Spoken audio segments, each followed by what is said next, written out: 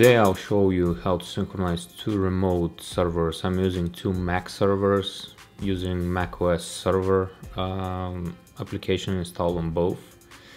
Um, also my router on the remote server is Apple so that's why you'll see when I enable SSH I'm just using the app and it's doing all the job for me. But first you have to enable SSH on the remote server where the archive is going then we're gonna go on the uh, main server where the files are. We're gonna use the rsync command with options lowercase a for archive z for compression and capital p for progress. And and if we cancel the transfer for some reason it will allow us to resume it.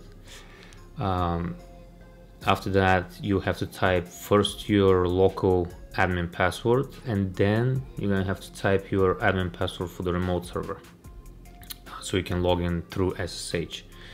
Uh, rsync will do the, the, rest of the job. It's a built-in utility, you don't have to install it. Uh, it will calculate the difference between the two folders and it will push the needed files over to the remote server. At the end of the uh, at the end of, of this task you want to remove the port for SSH uh, so you don't get hacked.